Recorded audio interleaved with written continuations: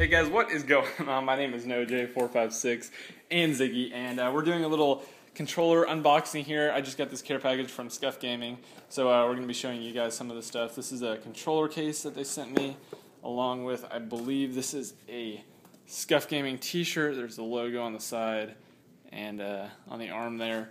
And uh, now the part that I'm super excited about opening up.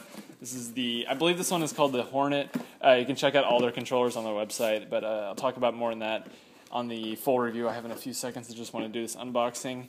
And uh, this is what it looks like. Wow, this looks pretty cool actually. And uh, th these two things are the main reason I bought it. So uh, basically, you just hold it like this, and you can jump and knife and uh, lay down around corners and like basically just do everything faster. But I'll have more on that in uh, just a second here. So I'm going to cut to the review part now. Alright guys, and here we are at the actual controller review part of the video. I've been playing with this for about a week now. Well, I, I'm saying playing, but I really haven't had a, much of a chance to play. I've been really busy.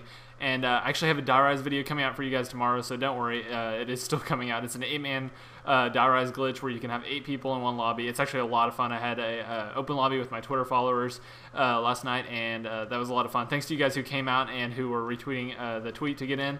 And But jumping right into it here, I'll show you a few features of, of this control that I've just really liked so far. So say if someone's camping there, and I want to jump through the door and aim at them, normally you would have to go jump and then aim. You have to take your, your finger off of the uh, the, D stick or not the D stick, uh, analog stick right here to actually jump. But uh, with this thing right here, right behind the movement stick, all you need to do is press this, and as you can see, it's basically like a second jump button. So instead of doing all that, you can just run and jump, and then in, in midair you can like immediately after you jump you can aim around so uh, it's it's really good if you're into trick shotting I guess that would be good for trick shotting I, I don't know I haven't really attempted that in a long, long time. But uh, the other thing here is, uh, as you probably saw there, I play on tactical, which means you click uh, the analog stick to actually lay down and crouch and everything.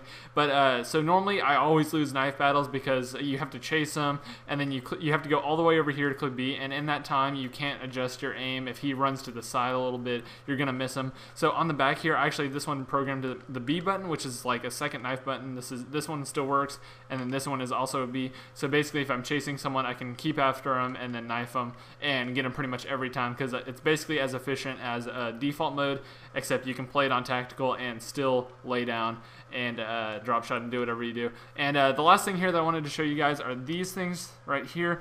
And what these do is actually stop you from clicking down the uh, sorry, it's kind of hard to see, clicking down the trigger all the way. So basically, it's just doing the very bare minimum that you have to do uh, to actually shoot shoot your gun, and uh, that's great because uh, say if I have the uh, semi-automatic weapon, you can uh, fire as fast as you can, and um, it will actually stop you right there, so you don't waste ammo, you don't waste uh, time. going all the way down when all you need to do is just like that. So just a little comparison here.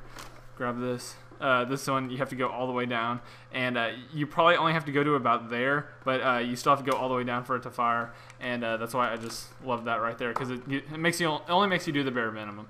But uh, yeah, that Die Rise video will be out tomorrow. I hope you guys enjoyed this little control review. I'm super excited about this, and I just had to share it with you guys.